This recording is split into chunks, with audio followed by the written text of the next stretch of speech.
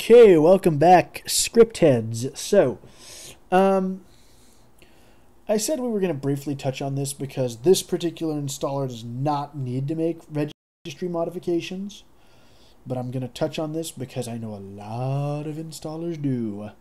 So, with that in mind, basically, this is broken out into components with the main uh, keys of the registry. Here, you click on it, or you right click on it, you do new, and then you can populate it down just like you use the Windows registry editor, or you can import a reg file.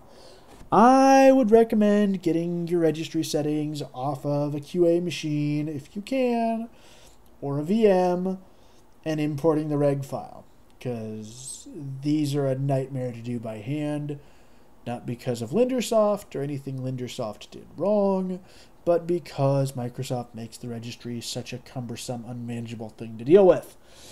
So that's it for my little rant on the registry. Join me in the next video when we talk about dialogues.